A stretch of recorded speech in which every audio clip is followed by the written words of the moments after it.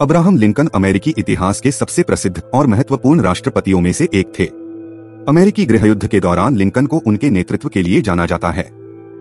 दास्ता को समाप्त करने में उनकी भूमिका विश्व कभी नहीं भूलेगा।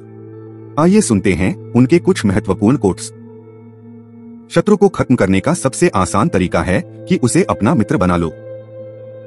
जो लोग दूसरों में बुराई ढूंढते हैं, उन्हें निश्चित तौर पर बुराई मिल भी जाती है।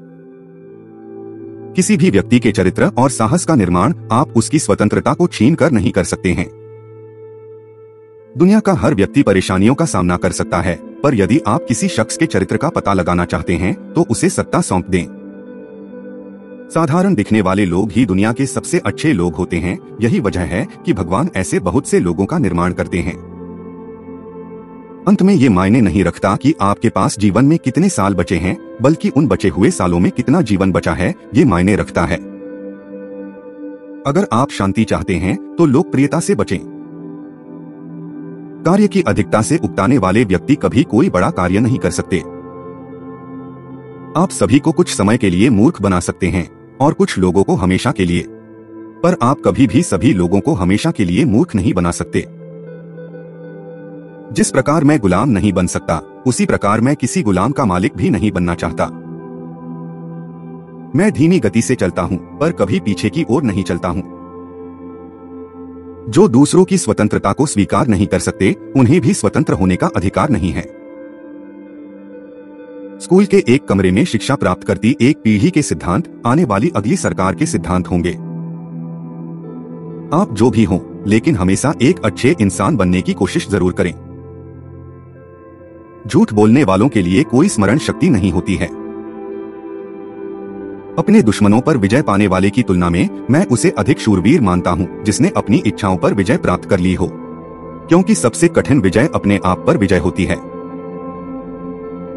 अगर आप एक पेड़ काटने के लिए मुझे छह घंटे दें तो मैं पहले चार घंटे अपनी कुल्हाड़ी की धार तेज करने में लगाऊँगा। जब मैं अच्छा करता हूँ तो मुझे अच्छा लगता है। जब मैं बुरा करता हूँ तो मुझे बुरा लगता है। यही मेरा धर्म है। लगभग सभी लोग प्रतिकूल स्थिति में खड़े हो सकते हैं, लेकिन अगर आप किसी व्यक्ति के चरित्र को जानना चाहते हैं तो उसे शक्ति दे दें। भविष्य के बारे में सबसे बढ़िया बात यह है कि ये एक दिन निश्चित समय पर ही आता है। मैं जीतने के लिए प्रतिबद्ध नहीं हूँ, लेकिन मैं सही और सच्चे होने के लिए प्रतिबद्ध हूँ। हर कोई लंबा जीना चाहता है, पर कोई भी बूढ़ा नहीं होना चाहता। उसे ही आलोचना करने का अधिकार है, जिसके पास मदद करने का दिल है। बोलकर सभी संदेह दूर करने से अच्छा है, कि आप चुप रहकर लोगों द्वारा मूर्ख समझे जाएँ।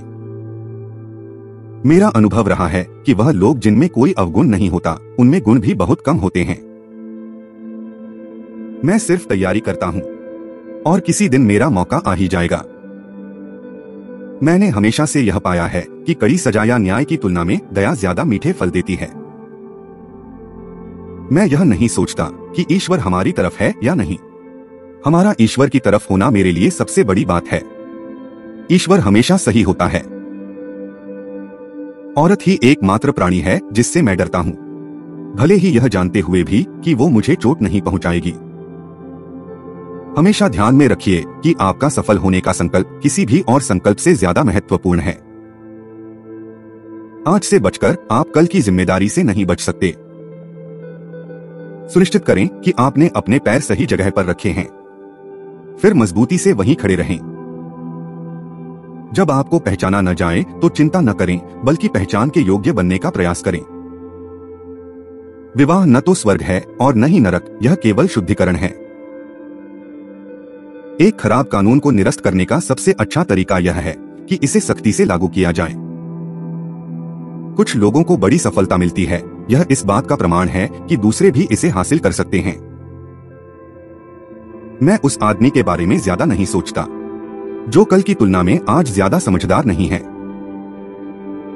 महत्वपूर्ण सिद्धांत कठोर हो सकते हैं और अवश्य होने चाहिए। मेरी कभी कोई नीति नहीं थी। मैंने बस हर दिन अपना सर्वश्रेष्ठ प्रदर्शन करने की कोशिश की है। किताबें एक आदमी को यह दिखाने का काम करती हैं कि उसके मूल विचार बिल्कुल भी नए नहीं हैं।